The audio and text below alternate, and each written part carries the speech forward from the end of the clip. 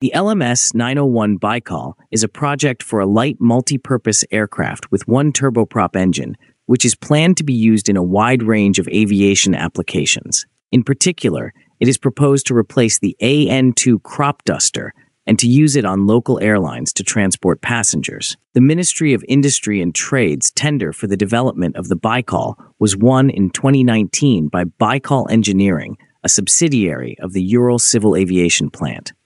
When ordering the aircraft, the ministry indicated that price should not exceed about 120 million rubles, but in October 2023, its cost increased to about 178 million rubles. But in dollar terms, it decreased from about 1.94 million US dollars in 2019 exchange rate to about 1.911 million US dollars in 2023 exchange rate. The first deliveries of the LMS 901 have been postponed to 2026 due to the import substitution of the engine and propeller. The VK800 SM engine for Baikal is planned to be certified by the end of 2024. Russian President Vladimir Putin, on September 5th, speaking at the Eastern Economic Forum, demanded that the development of the Baikal be accelerated and that it be launched into production in the near future. At the same time, the president emphasized that the aircraft's performance characteristics and cost should be competitive, and the price of a flight on the Baikal should be affordable for citizens. Deputy Prime Minister and Presidential Plenipotentiary Envoy to the Far Eastern Federal District, Yuri Trutnev, called for changing the contractor.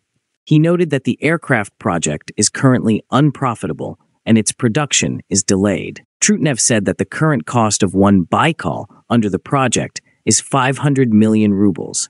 At the same time, the plane will carry up to nine passengers. The deputy prime minister said that with such characteristics, a ticket to Baikal would cost so much that I do not know where to get the money for a flight on such a plane.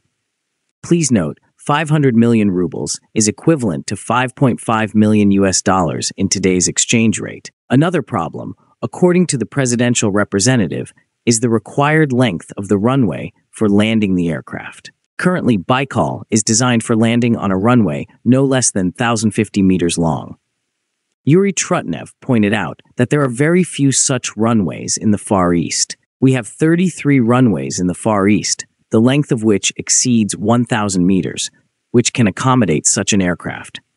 That is, we simply do not have runways, Mr. Trutnev stated at the final press conference of the Eastern Economic Forum. In response to this, the head of the Ministry of Industry and Trade, Anton Alikhanov, noted that if the contractor is changed, the period for creating the aircraft will only increase.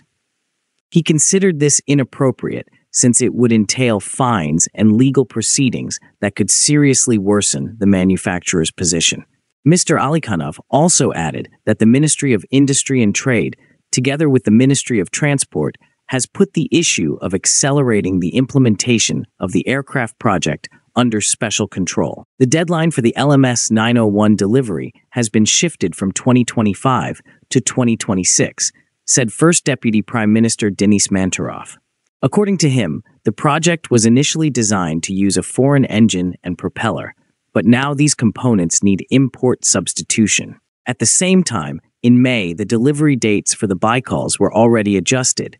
They were moved from 2024 to 2025 and the volume of the state program was reduced to the production of 139 aircraft. The state has invested 1.25 billion rubles in the project. This new flying SUV for small aviation was showcased for the first time at MAKS 2021. Using modern methods of weight and digital optimization, we tried to create a plane that can operate from the same airfields as the AN2. However, Baikal has a cruising speed 1.5 times higher, 300 kilometers per hour instead of 200. All materials are domestically sourced, said chief designer Vadim Demin to journalists at the time. In January 2022, the Baikal prototype made its first flight in Yekaterinburg. Baikal is a monoplane. It is 12.2 meters long, with a wingspan of 16.5 meters and a height of 3.7 meters. The maximum takeoff weight is 4.8 tons. It is planned to carry 9 to 12 passengers and have a payload capacity of 4,400 pounds or 2 tons. Now, do you think Russia will complete Baikal even by 2030? Let us know in the comments.